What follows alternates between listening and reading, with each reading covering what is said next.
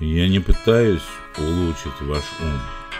В пучине идеологии зла я пытаюсь разбудить ваше сознание, вернуть вам зрение, вернуть вам простое понятие того, что честь и свобода важнее той жизни, которой вас принуждают с детства. Как только голоса от государства начинают взывать к вашему патриотизму, это означает, что они готовятся убивать вас быстро и эффективно. Если вы сломаете механизм часов, стрелки все равно будут показывать два раза в сутки правильное время, и у ваших оппонентов всегда будет повод кричать, что вы лжете и часы прекрасно идут. Мы живем в эпоху сломанного времени и кривых зеркал, а ложь правит миром. Дайте волю душе – Слушайте, думайте, пишите.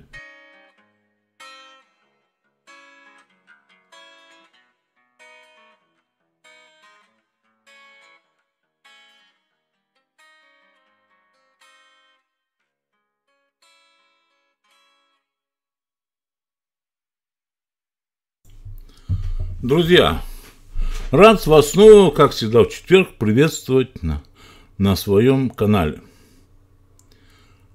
Я э, вам обещал, э, что сегодня, помимо того, что мы, как, как всегда, поговорим на разные темы, узнаем события с мест из ваших же уст, но еще и к тому же я в конце вам прочту стихотворение свое, недавно написанное. Я не буду сегодня ходить по общей сбитым, изжеванным и зализанным всем интернетом темам, кто куда упал, кто, кто на кого наступил, что происходит там, что происходит в Херсонщине, что происходит еще где-то. Причина простая. Все, что происходит, оно было предусмотрено, запланировано и хорошо организовано.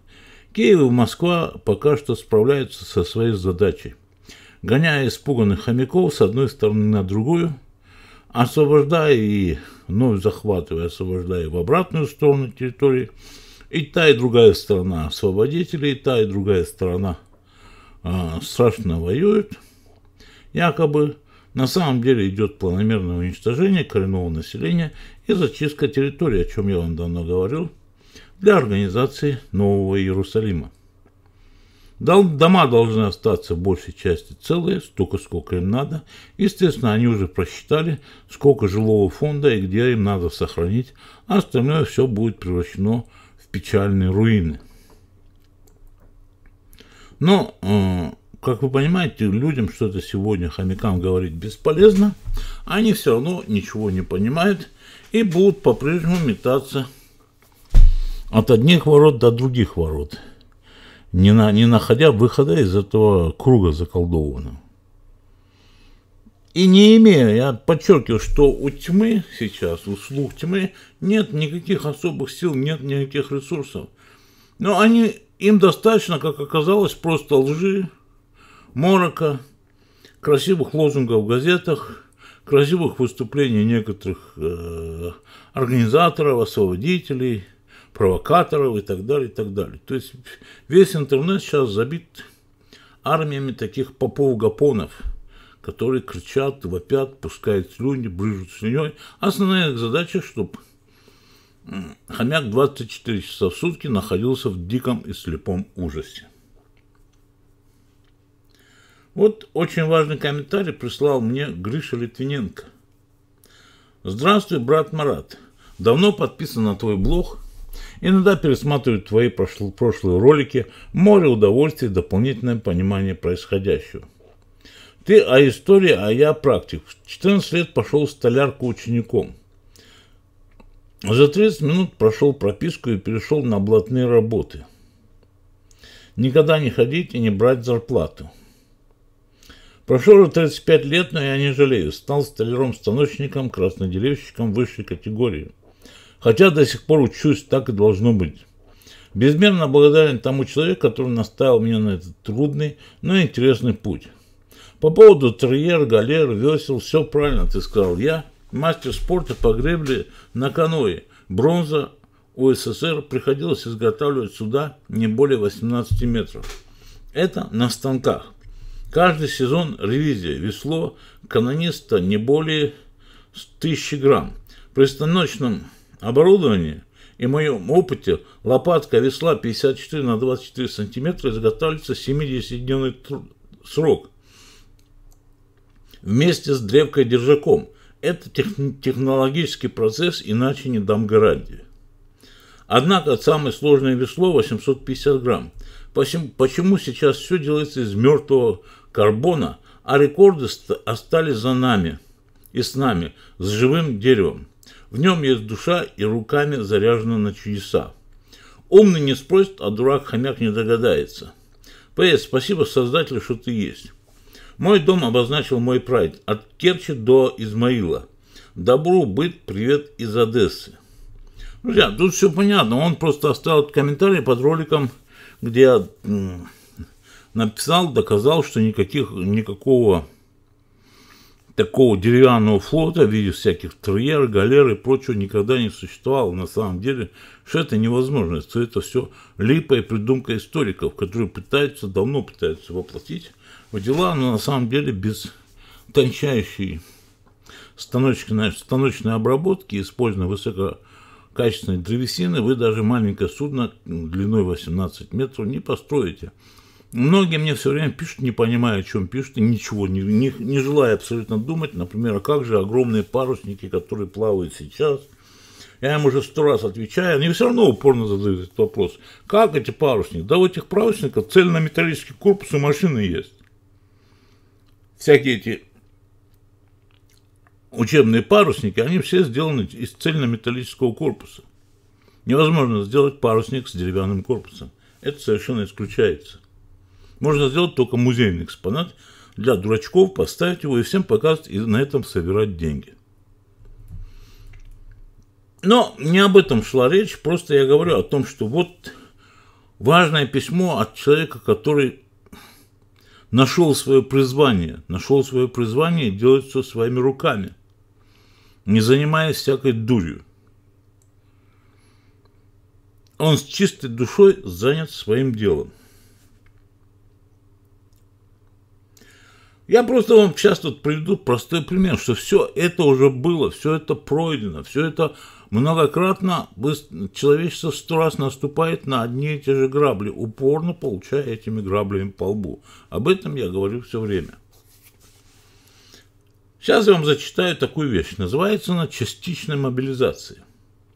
Писатель и дворянин Викентий Вересаев в книге «На японской войне» описывает мобилизацию простолюдинов в 1904 году на русско-японскую войну – Описанное событие происходит в Тульской губернии, где в то время проживал Вересаев. В конце апреля по нашей губернии была объявлена мобилизация. О ней глухо говорили, и ее все ждали уже недели три, но все хранилось, хранилось в глубочайшем секрете. И вдруг, как ураган, она ударила по губернии. В деревнях людей брали прямо с поля, от сахи, в городе полиция глухой ночью звонила в квартиры, вручала призываемым билеты и приказывала немедленно явиться в участок. У одного знакомого инженера взяли одновременно всю его прислугу – лакея, кучера и повара. На войне же без повара никак. Сам он это время был в отлучке. Полиция взломала его стол, достала паспорта, призванных и все увела, в том числе и украла все деньги, которые там лежали. Было что-то равнодушно свирепое в этой непонятной торопливости. Людей выхватывали с дела на полном его ходу. Не давали времени ни устроить его, ни ликвидировать. То есть, если у человека был какое-то свое дело, свой какой-то источник дохода, например, не знаю, да кем угодно был, каретных дел мастером, Ему приходили и прямо его уводили прямо из, из, из цеха, из, не знаю, из, из кабинета его и вели прямо на войну. Людей брали, а за ними оставались бессмысленно разоренные хозяйства и разрушенное благополучие. На утро мне пришлось быть в воинском присутствии. Нужно было дать свой деревенский адрес на случай призыва меня из запаса. Потому что он был офицером запаса. На большом дворе присутствия у заборов стояли телеги с лошадьми. На телегах и на земле сидели бабы, ребята, старики. Вокруг крыльца присутствия теснилась большая толпа мужиков. Воинское присутствие – это то, что сегодня называется военным комиссариатом, которого уже давно нет. Солдат стоял перед дверью крыльца и гнал мужиков прочь, это которых, призыв, которых призвали. Он сердито кричал, «Сказано вам, в понедельник приходи! Ступай, расходись!» Да как же так в понедельник забрали нас, гнали, гнали? Скорее, чтобы сейчас же немедленно явиться. Ну вот, в понедельник и являться. По всему городу стояли плач и стоны. Здесь и там вспихивали короткие, бессмысленные, быстрые драмы. У одного призванного заводского рабочего была жена с пороком сердца и пятеро ребят. Когда пришла повестка о призыве, женой от волнения и горя сделался паралич сердца. И она тут же умерла. Ну, понимаете, почему? Во-первых, она понимает, что она пять детей никак не прокормит. Совершенно. А тем более, если останется вдовой. Потому что муж работает на заводе и получал хорошую зарплату, находясь на... А так, ну что, значит, дети будут без, без всякого содержания. Муж поглядел на труп, на ребят, пошел в сарай и повесился. Другой призванный вдовец с тремя детьми плакал, кричал в присутствии. А с ребятами мне что делать малыми? Научите, покажите, ведь они тут без меня с голоду передохнут. Он был как сумасшедший, вопил тряс в воздухе кулаком. Потом вдруг замолк, ушел домой, зарубил топором своих детей и воротился. Ну, теперь берите. Свои дела я справил. Его арестовали. Кстати, та мобилизация тоже называлась частичной, частной. Заметим, еще к тому же и частная. Частичная частная мобилизация. Всего в 1904 году было проведено пять частичных мобилизаций с апреля по сентябрь. После каждой мобилизации оказалось, что солдат все мало, а японцы так и продолжают зверски бить россиян. В 1905 году частичные мобилизации продолжились. Всего их оказалось 9. Девятая частичная мобилизация началась 16 августа 1905 года. Но уже 23 августа был подписан русско-японский мирный договор.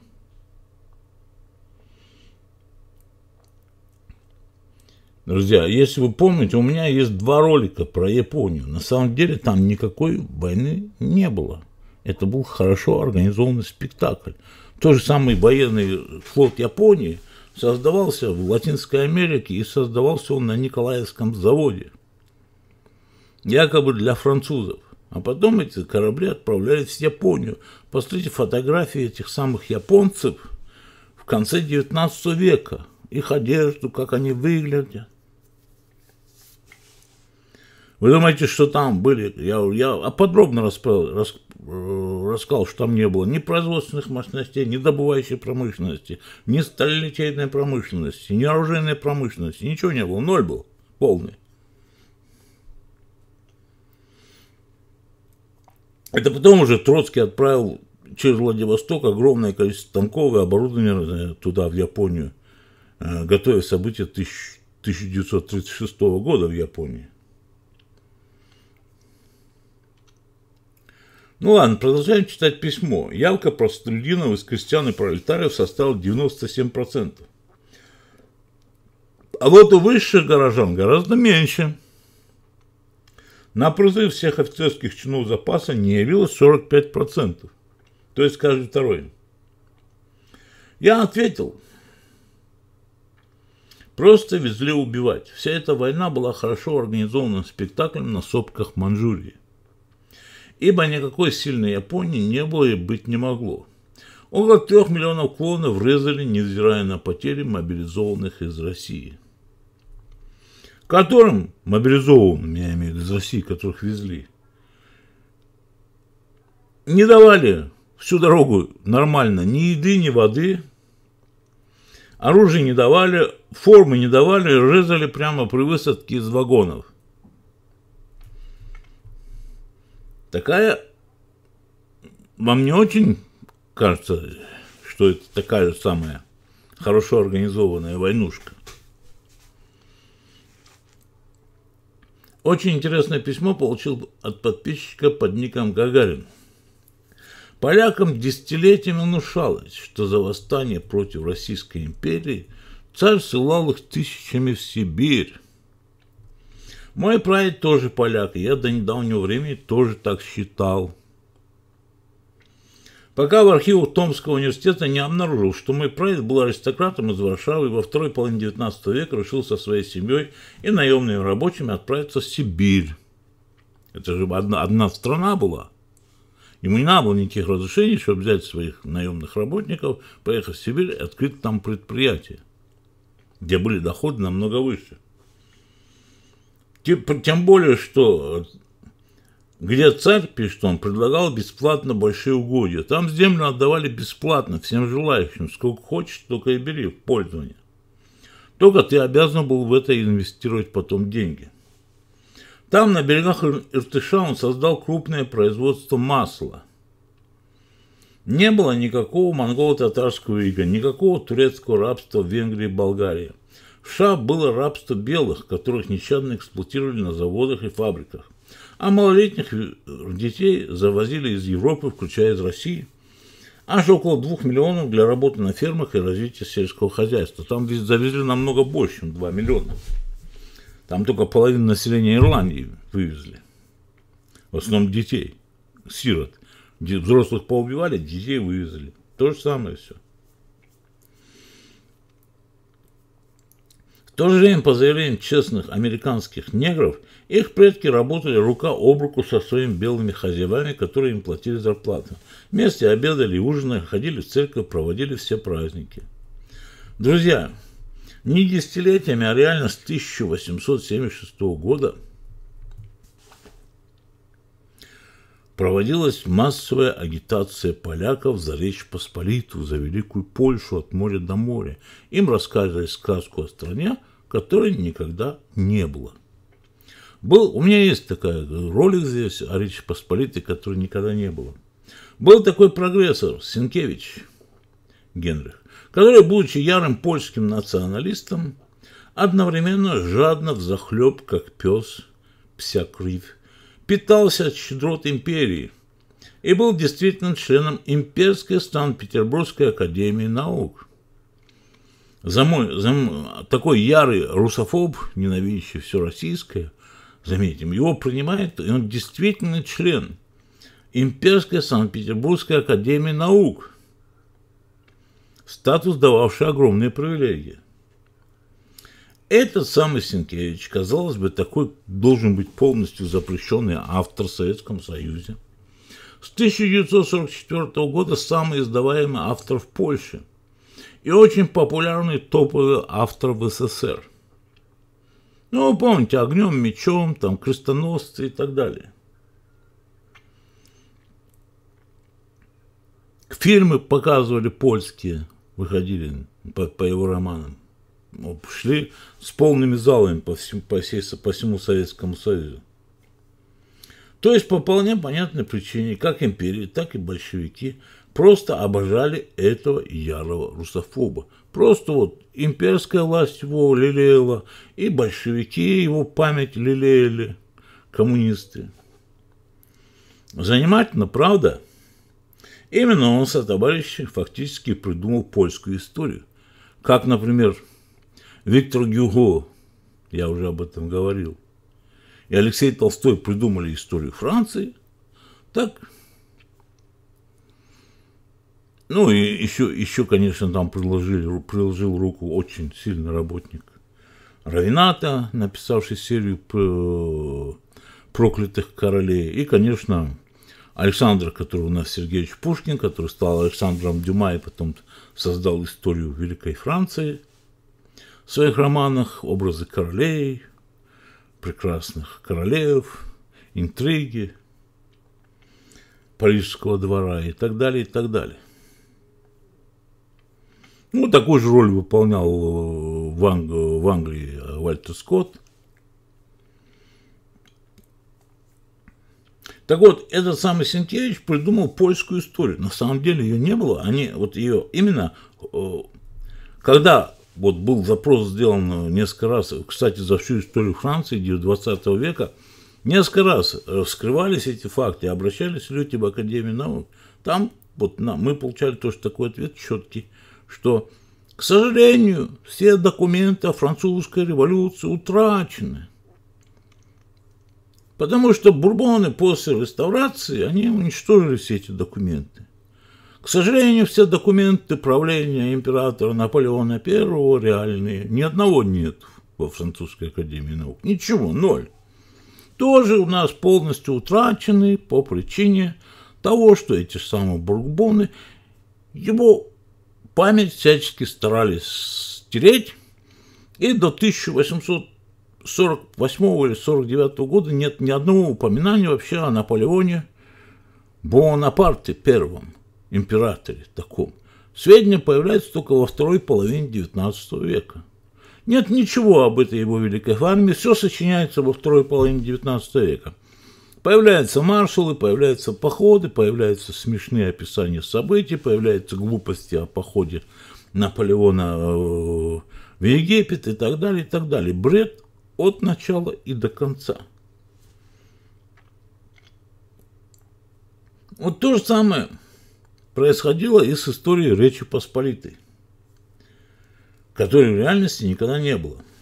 Целенаправленное уничтожение чести, совести, традиций, семьи и постоянная ложь о прошлом, которого на самом деле никогда не было, привело к полной деградации – причем с каждым новым поколением от реальной сути и смысла бытия не остается даже самых малых крох. Вот пришло письмо, интересно, от подписчицы под именем Нане. Здравия вам, Марат. Благодарю вас за многое. Вы очищаете сознание людей, готовых трудиться над собой. Ваши искренние мысли поражают подобные у многих ваших слушателей. Вероятно, душой наделенный человек, еще не затронутый религией, попадает в ее сети в поисках подобного очищения и возвышения. А ему незаметно подсовывают противоположные идеи, чуждые его души, душ для его души. Но на самом деле люди, действительно очень хорошие люди, часто уходят в полную религиозность и начинают истово верить, по причине того, что ну, некоторые события произошли с ними тяжелые очень, например, драматические события. Опасность была, угроза. И когда просто их душа, она протестует против окружающих, потому что мы живем в цивилизации лжи, они начинают искать истину, но вместо истины находят лживую пар, правду религии. Лживая правда религии уводит их в полный дебри. Им становится в конечном итоге еще хуже – Ладно, читаю дальше письмо. Для меня лично вы являетесь маятником в погружающейся, объемлющую тьму мире. Не пропускаю ваши ролики, часто прослушиваю старые, переслушиваю старые. Каждый раз осознавая их глубже. К сожалению, словами не получается выразить степень моей благодарности и душевного тепла к вам. Хотелось бы также выразить некоторые мысли высказать про Кавказ – Будучи армянкой происхождения по происхождению, я с большим интересом слушаю ваши ролики, посвященные Кавказу, и письма ваших подписчиков касательно данного региона. По, по поводу слова «ас» очень интересно получается, если обратиться к армянскому языку. А именно слово «аставтвац» на армянском языке переводится как «данный Богом». Но это не все – если принять во внимание труды Драгунского, то букву Т и Д можно идентифицировать, то получается, что как ас давать, дав, давай, то есть асом данные. И подобных сходств очень много. Подобные совпадения можно увидеть во многих языках, особенно в английском. Марат, вы и ваши подписчики много раз отмечали, что кавказцы потеряли свой моральный дух. И я с горечью должна согласиться с вами. У меня есть ролик, что происходит на Кавказе, кто сейчас проживает на Кавказе, что остались одни орлы.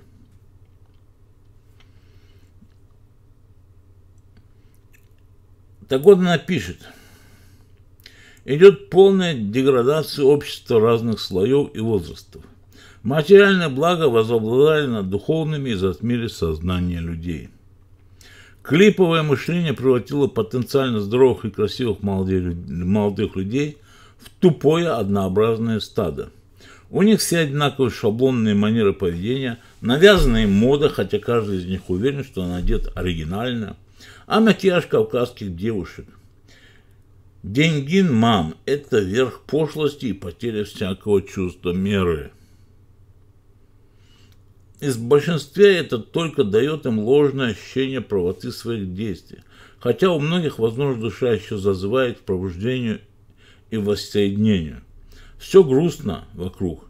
И я проживаю в стране У, где пугает свои же. Только я, я выбрала светлую сторону, откуда отгоняя страх, ложь, зависть и покорность. Есть смирение в душе, способствующее гармонии в ней. Всем нам душевных сил.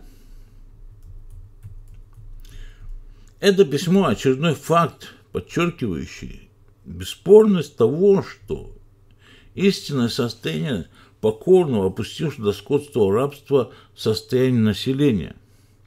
Они просто тупо верят, что кто-то о них позаботится, что о них позаботятся умные правители, что все будет хорошо, что надо только потерпеть. Вот это, что надо потерпеть, это и есть самый страшный грех. Нет никакого греха страшнее, чем терпение. Терпение и следующая за ним покорность – грехи, которые жизнь никогда не простит. Человек теряет терпеливый и покорный, человек теряет душу начисто, превращается в тупое животное, в хомяка неразумного, а потом просто в плесень. За терпение есть только одна награда – встреча с палачом. Не рай, а именно встреча с палачом. Вот что сегодня творится в Европе. Ольга Влади пишет. Здравия, Марат. Хочется пару слов написать о ситуации в Европе, в Италии в частности. Как памятка тем, кто бежит сюда из России или Украины в надежде найти лучшую жизнь или хотя бы сохранить жизнь. Ситуация здесь настолько плачевная, что скоро местные будут в домах топить мебелью и всем, что горит. Наступают холода. Счета только за, отве, за свет в небольших домах по 700 евро в месяц. За газ я вообще молчу. Обещают, что средняя семья будет платить от 2000 евро в месяц за коммуналку, за коммунальные услуги. Это при средней зарплате полторы тысячи евро. Все подорожало, закрывает все поголовно. Ну, идет массовое, давно идет массовое закрытие остатков предприятий. Экономики уже практически в Европе никакой не осталось. Муж работает на фабрике по производству сантехники. Почти все его конкуренты уже закрыли временно, в кавычках, предприятия. Впереди зима, холод и голод – так что Европе конец, если что-то не изменится. Но я-то понимаю, что ничего не изменится в ближайшем будущем в лучшую сторону. Всем терпения и сил. Друзья, вы, как всегда, внизу под роликом можете найти именно тех помощников, которые нашли время, желание и возможность, имели такую возможность реально, оказать посильную помощь моему творчеству. Благодарю их всех от себя и от вашего имени. Здравия и сил всем им душевных. И благосостояния, конечно. Там же вы найдете ссылки, по которым можете легко присоединиться к их небольшой группе. Кстати, благосостояние не имеет ничего общего с материальным состоянием. Благосостояние на самом деле означает гармоничное состояние души человека. Благо души состоящее.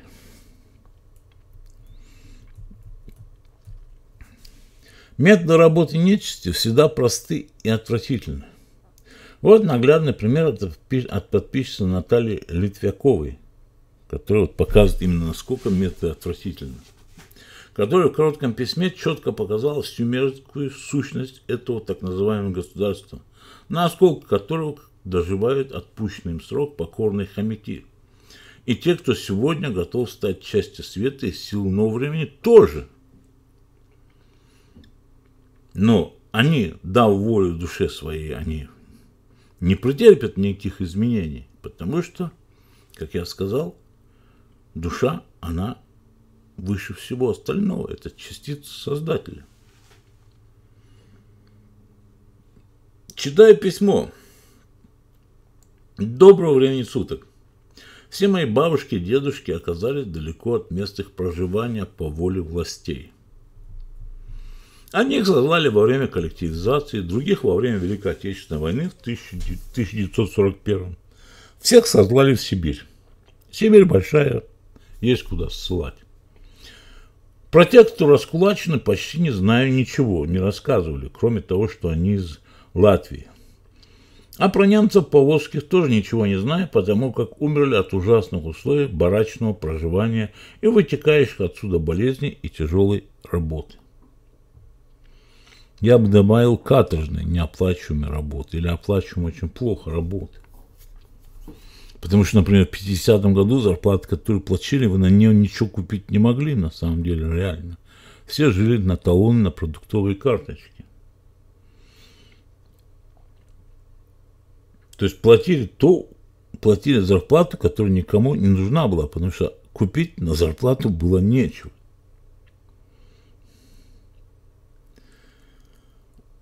Родители своих мама не помнит тягот тоже – то есть ее мама потеряла родителей, их не может помнить, потому что они вот, как выше сказано, все погибли. А вот государство было благодарно за то, что оно ее вырастило, выкормило, выучило и так далее. Как это все мерзко. Друзья, что тут можно сказать?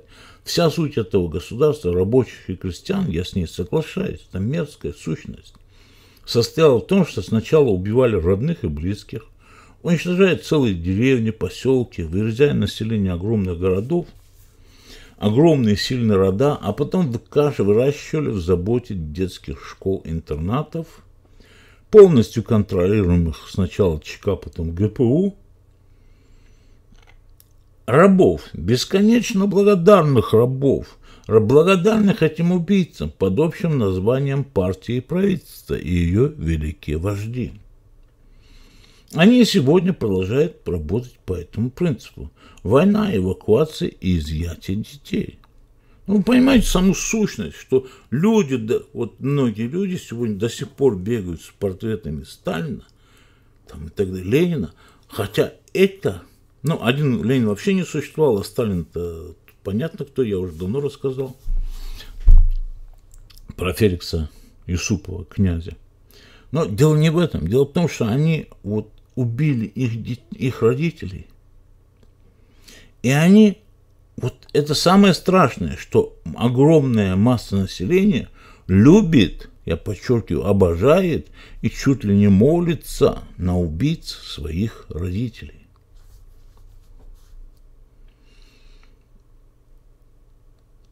Я, я вот просто иногда не понимаю этого. И ведь все лежит на поверхности. Вот интересная информация от Александра – информации с первых рук. Он пишет о, своей, о своем разговоре с одним его давним-давним знакомым, который, он даже не знал, что это его знакомый на самом деле э, правоверный иудей. И вот что говорит ему этот знакомый. Я теперь, Саша, тебя домой пригласить не могу. Вот он так ему и заявил. Заявил ему один очень, как он считал, продвинутый и нерелигиозный человек совсем. Как оказалось, что это на самом деле религиозный иудей из Нью-Йорка. Так как после этого надо приглашать равина и проводить процедуру очищения дома от следов пребывания в нем Гоя. Про, я еще раз повторяю, процедуру очищения дома от следов пребывания в нем Гоя – Потом надо еще давать объяснение Равину, по какой причине ты попал в мой дом. То есть зачем я тебя пригласил к себе. Друзья, я решил проверить кое-что и позвонил одному давно знанитому подбором персонала для богатых домов деятелю, с которым знаком совершенно по поводу никак не связанный ни с каким бизнесом. Я с ним общался на тему истории итальянского литературного языка, потому что его отец был очень такой известный в свое время филолог, исследовал литературный и древний итальянский, как он считал, язык. И вот я все время, так сказать, ставил в тупик его рассказами о том, что же такое. Вернее, он все пытался, все время он пытался доказать, что я не прав, что его папа прав, а я не прав. Доказать мне, что итальянский язык не новодел. Все искал уч- первоисточники, учебные базы языка искал, пытался найти учебники итальянского языка литературного в XIX веке. Найти ему, как им как вы понимаете, ничего не удалось, потому что я уже заранее знал, что там ничего не будет. Но я его спросил, как дела, просто спросил, как дела по работе, что происходит в Италии. Ну, они, говорить итальянцы очень любят. Он сказал, что основные клиенты у него были новые русские, которые сейчас практически исчезли, дома их пустые – Персонал распущен, который их обслуживал.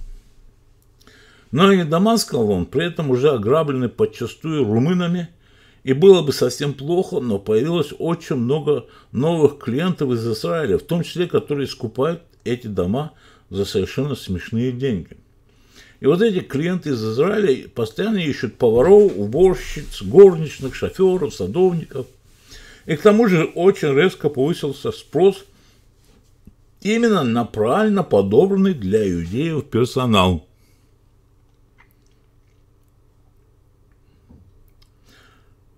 Которые коренные тоже вот иудеи, которые в Италии жили уже, то есть всегда родились в Италии, выросли в Италии, жили в Италии, они тоже стали предъявлять совершенно новые требования к подбору персонала.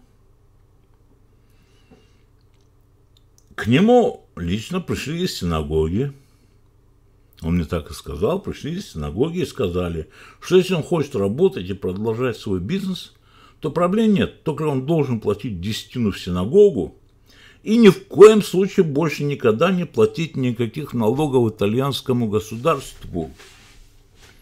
Так как его мать иудейка, что официально подтверждено, и ему выдали сертификат на иврите. Он мне сказал, я никогда не подозревал, что моя мать, оказывается, родилась от еврейки, она оказалась еврейка. Я даже не уверен, что моя мать, говорит, он знала, что она еврейка. И вот что теперь весь контингент персонала, сказал он, должен быть одобрен в синагоге, как домашние, подчеркиваю, животные говорящие, он так и сказал. Это уже не люди, это домашние животные говорящие. Только после этого они могут работать на чистых евреев – по найму. Друзья, что им сейчас говорят, вполне понятно. Читайте Пятикнижие Моисея. На самом деле все эти иудеи правильные тоже только жертвы сегодня. Отложенные на закуску, на десертик. Естественно, на 95% тех, кто считает себя гражданами Израиля, на это все не распространяется совсем – они для них тоже нечистые гои. Но и чистые иудеи тоже просто сегодня сакральные жертвы, будущие сакральные жертвы. В мире, где, они считают, будет царить цифровое рабство, не может быть, на самом деле, никак, никаким, никаким образом не может быть никаких высших каст. Никаких олигархов, никаких богатеев, никаких частных яхт и так далее. Нечисти, которые твари бездушные, которые реально управляют, энергетические сущности, которые подселяются в тела. Им эти совершенно уже завтра эти все олигархи, им совершенно эти президенты, эти правители им будут не нужны. Зачем они нужны, когда не будет банков, правительств, денег, законов никаких? торговли не будет, прибыли, ничего этого не будет. Есть только две категории рабов, то есть две категории рабов. Надсмотрщики над рабами и все остальные. Но надсмотрщик – это просто голая сила и полная покорность хозяину тоже. Собачья преданность хозяину. А казарма и пайка того же корма с добавками энергетиков, согласитесь, для насмотрщика, которого будет, да, у него будет отдельная, наверное, комната своя, отдельная пайка, отдельные блага в виде, например, бутылочки там пива или, не знаю, стаканчика алкоголя крепкого э, в священную субботу. Но это уже, я же повторяю, не поместье, не вилла, не дворец, не замок. Это просто комната надсмотрщика, который находится там же, в казарме, где живут все остальные рабы. И он тоже получает корм, просто корм у него больше пайка корма и получает больше каких-то удовольствий за собачью преданность. Система работает просто.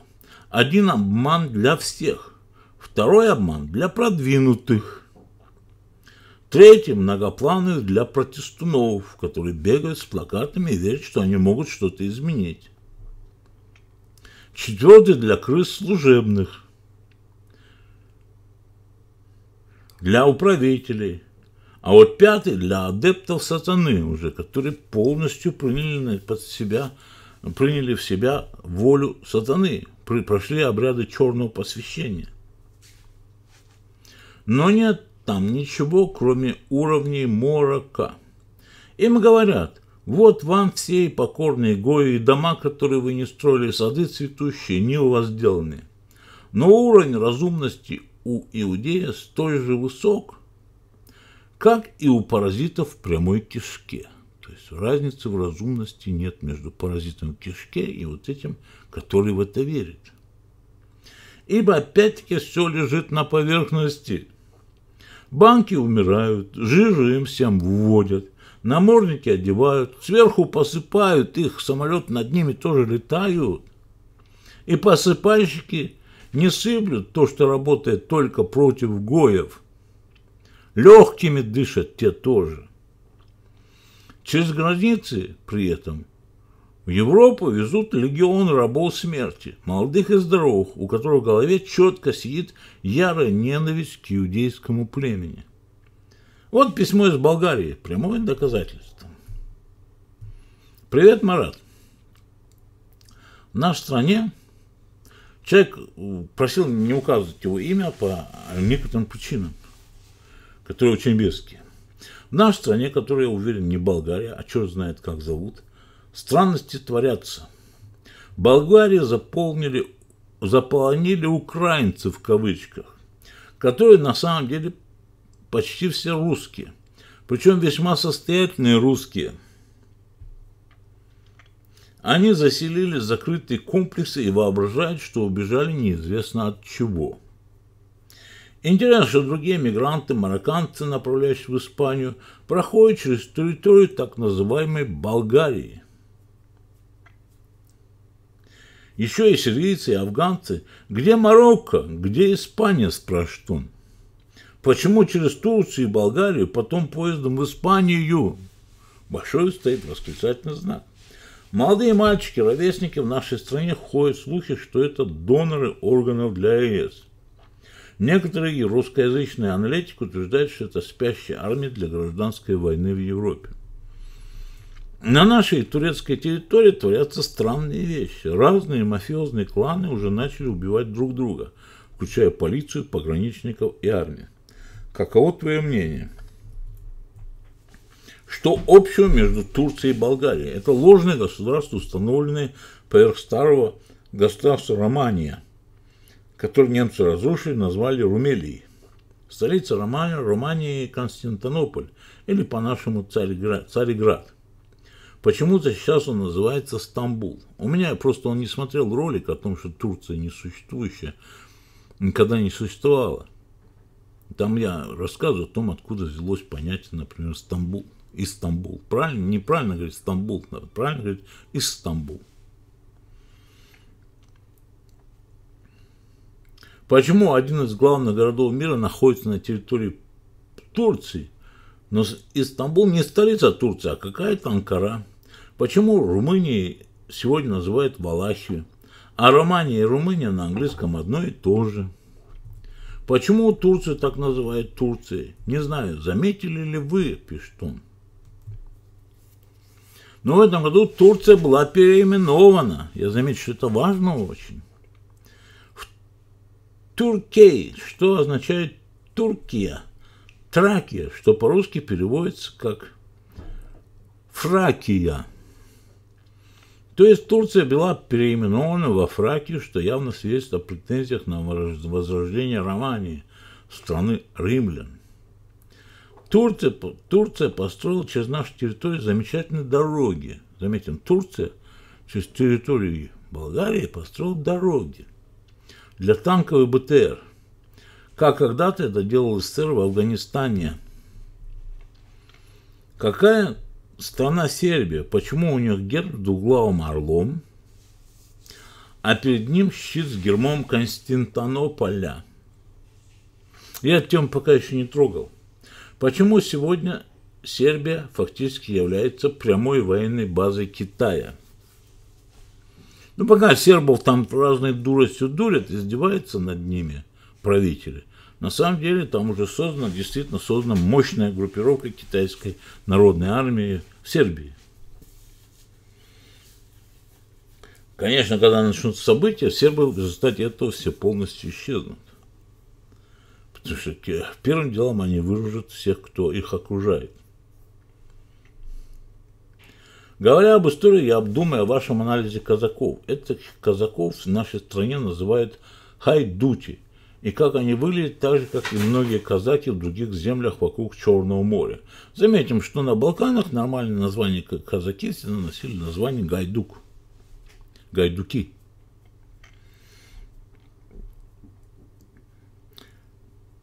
Проверьте словарь. Хайдут, хайдут с русского переводится как преступник.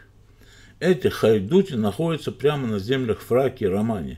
Раньше нас учили, что они герои, а теперь их делают турецкими бандитами. Иди узнай, что происходит. Действительно, попробуйте узнать, что же происходит на самом деле. Российская история сложная и запутана, пишет он. Легче всего это понять в нашей стране по дороге Виа Диагнолис из Константинополя в Белград есть немецкое княжество Болгария, которое является проекцией Баварии. Даже герб у нас такой же баварский лев, наша валюта лев, курс 1.1 к немецкой марке. Но люди не хотят увидеть очевидное, друзья. Ну что можно сказать? Они не видят ничего. Они, они живут в постоянном мороке, потому что разума нет, душ, душу, душу продали – или потеряли уже ее под этим мороком. Понимаете? Уже состояние хомяк, хомяк условно разумный закончилось, начало состояние хомяк неразумный, и постепенно уже во многих местах перешло полностью в состояние плесени. Так вот это княжество в Болгарии, которое называется Болгария, принадлежит семье Саксен-Кобург – Несколько лет назад Саксон Кобург снова стал нашим королем, привел нас в ЕС и раз и навсегда ограбил страну. Романия была ветвью нескольких империй и сыграла ключевую роль в первых двух мировых войнах. И не только этих мировых войнах, но и в прежних. Ну, тут он, понимаете, он исходит из того, что представляет себе. Просто я советую ему тоже посмотреть у меня всю историю 19 века и вообще историю 18-19 века. Там все, все разложено достаточно понятно. Что это Россия, СССР и СССР освобождают нашей стране, так как они никогда не вошли в романскую часть, а только в северную, которая исторически есть Болгария. Почему СССР освобождает нас первой украинской армией, а не русской? От кого она нас освобождает и почему не до конца? Неужели Сталин не знал, что здесь происходит? Прекрасно знал, можете мне поверить, что происходит. СССР строил у нас очень интересные вещи. Построили здесь АЭС Козлодуй. Логотип этой АЭС три шестерки. Недавно шестой блок из двух высших таинственным образом отказался работать. Энергия-то больше не нужна, предприятий нет, друзья. А люди должны, а, как говорит, бороться с холодом и голодом, не имея еды и не имея отопления. То есть надо бороться сейчас, население Европы готовит к тому, что они должны бороться с голодом и холодом, не имея еды и не имея отопления, и не имея энергоносителей. Еще один... А, почему в СССР маркировали завод тремя шестерками? Или это не СССР, а хазарские еврейские оккупанты? Еще один советский проект в нашей стране – мощный Казанлыкский оружейный завод «Арсенал». В последнее время в нем происходит необъяснимая авария с многочисленными жертвами. Один – это один из немногих заводов в мире с исключительными оружейниками из Романии по Мации. Перед аварией была крупная чистка российской агентуры и дипломатические скандалы. Может быть, у тебя есть ответ, что и на самом деле произошло, и причем, почему произошло, что такое Россия, СССР, православие, Германия. Все ответы, кстати, есть у меня на канале. Говоря о православии Константинополя, почему наш, он пишет в кавычках, православный папа, патриарх Варфоломей, базируется в Стамбуле, и почему никакой позиции по войне прививкам не занимает, не ходит по миру и даже в Антарктиде, как остальные цинковные клоуны, не был. В стране есть много свидетельств того, что наш, что наш язык, наши учения, наши храмы были другими. Все наши трофеи, старые храмы, документы на собственность, деньги, они так и называемым официальным османо-турецком языке в нашей стране, который дураки называют арабскими выкрутасами. Он предлагает карту языков Европы, где этот язык называется тракика или тиркика а также надгробие 1860-1870 года, как бульдозерами выкапывают, а потом уничтожают. Ну, я понял, что историю-то начали нашу рисовать после 1855 года. И, естественно, выкапывали как могли, уничтожали как могли. Я вам показывал на том канале, тоже есть храмы, где плиты выложены старыми плитами, на которых стерто много Явно, Марат, все на самом деле ложь. А вы часто упоминаете Болгарию и болгар. Мне лично обидно, что меня называют болгарином и православным. Это не моя страна, а какая-то немецкая хута, говорящая на славянском языке, которая является церковно-православным, как и русский тоже. Надеюсь, что некоторые из моих вопросов и материалов здесь помогут вам лучше разобраться в загадках истории, географии, происхождения русских.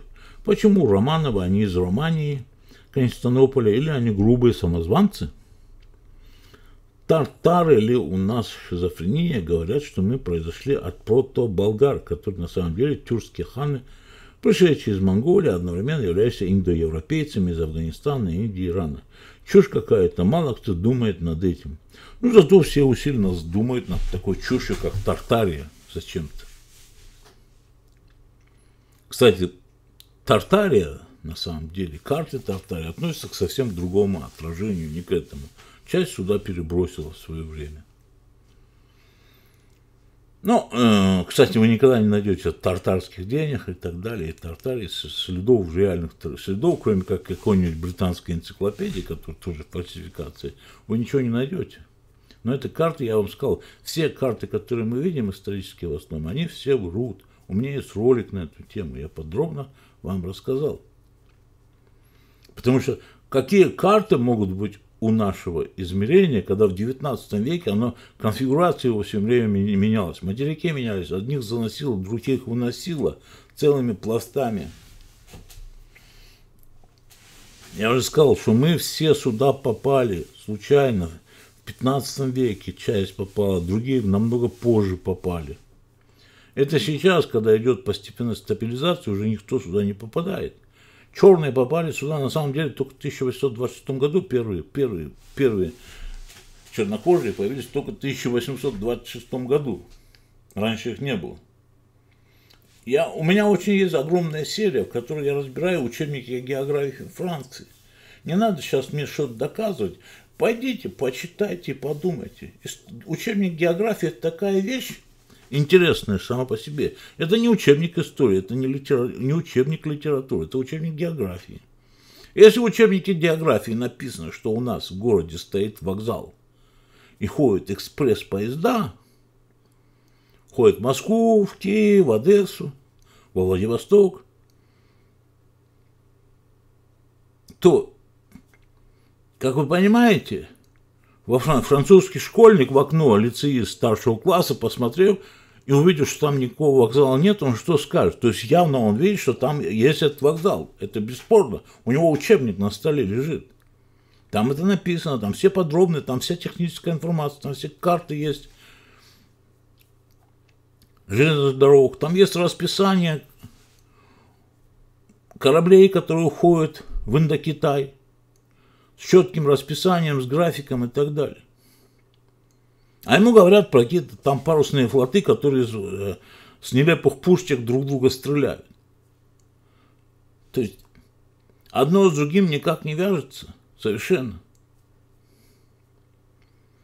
А, а вот и почему фактически учебник географии является вещью бесспорной. Он постепенно меняется. Когда проходит 40 лет, там у меня четко можно проследить динамику с 1859 года по 1938 год.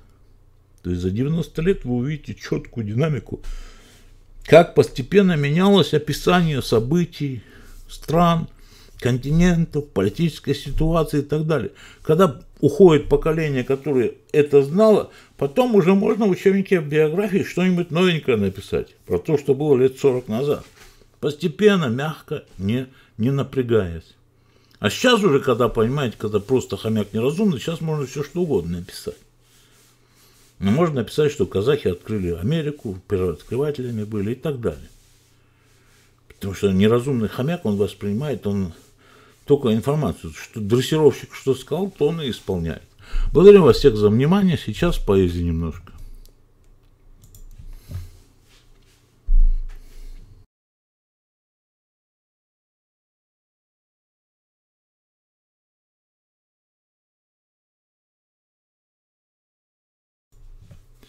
Друзья, это стихотворение новое, зарегистрировано недавно на, в интернете на стихиру тоже зарегистрировано недавно. Стихотворение называется «Скелеты и цветы». Цикл «Белая гвардия». Слушайте внимательно. Скелеты лошадей под дымкою белесой, Испуганных огнем безумия небес, Скелеты наших снов и наших клятв скелеты, Горящие за холмом. От артобстрела лес, Бегущих от войны Смердят во врагах трупы. Еще никто не смог от смерти убежать. Их черепа в траве на солнце скалят зубы. Их судный день прошел, и некому поднять. С церквушки пулемет нам не дает подняться, Хоть до колодца рядом совсем рукой подать. Ратмистр перестал то в Бога, то в царя, по матушке ругаться и комиссару с ними недобрым поминать.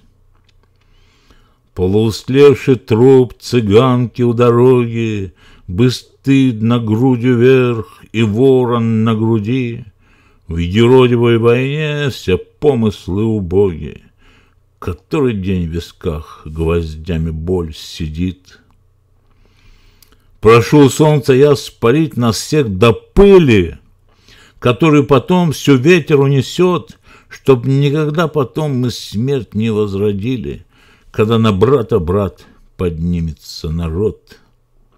Чтоб никогда от нас не возродилось племя, покорное крестам, сатрапам и вождям, Чтоб в лона женщины мы не роняли семя, Чтоб не плодить рабов, покорных чужакам. Наверное, до воды сегодня не добраться, Как не вернуть назад весеннюю Москву. Скелет лошадей, им тоже не подняться, Поднимутся цветы на заливном лугу. Осталось только честь нам с ней не расстаться. Трехгранностью штыков расчерчен небосвод. Так хочется сейчас мне к речкам подняться И улететь туда, где мирный луг цветет. Из-за кустов травы мне в очи смотрит сука. Зовут ее друзья гражданская война. Плешивая она в коросте вечной муки, И только ядом лжи пропитана она.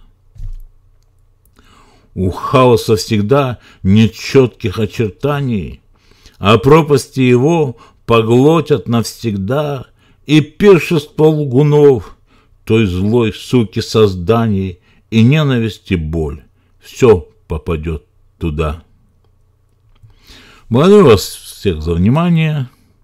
До следующей встречи. Ролик скоро и по деньгам, и по первый ролик готовится. Наверное, я все-таки сделаю ролик по деньгам, потом, может быть, небольшой ролик по работе Александра выйдет тоже. Потом выйдет уже, начал я готовить трилогию, готовлю ее. Наберитесь, так сказать, внимание, слушайте, смотрите. Не забывайте подписываться на второй канал «Незнакомая Франция», кто не подписан. Следующий ролик, скорее всего, будет там, после этого.